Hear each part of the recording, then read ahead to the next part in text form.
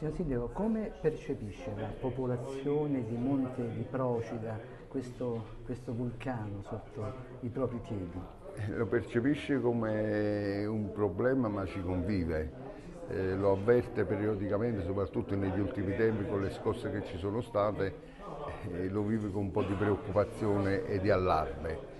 Queste esercitazioni, soprattutto in questo momento, arrivano ad hoc forse per cogliere eh, diciamo l'aspetto emotivo pure della popolazione. Come ci stiamo attivando, eh, così in questa riunione con la nostra regione gemellata, parliamo di rischio vulcanico ovviamente, e abbiamo avuto molto piacere di conoscere il direttore della protezione civile dell'Abruzzo che ci ha mostrato la loro esperienza e quello che stanno preparando per quanto riguarda il nostro piano di evacuazione.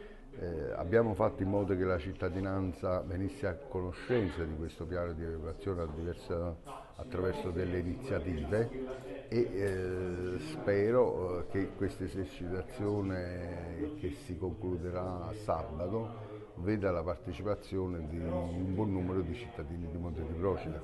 Ci sono dei punti ancora... Diciamo che l'esercitazione dovrebbe essere proprio il momento in cui mettere a fuoco dei problemi, far venire fuori i nodi che devono essere sciolti.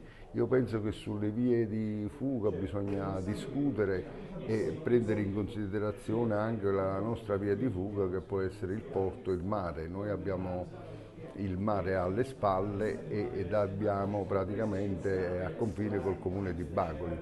Quindi nel nostro piano di evacuazione la via di fuga è quella via terra attraverso il comune di Bacoli e di Pozzuolo.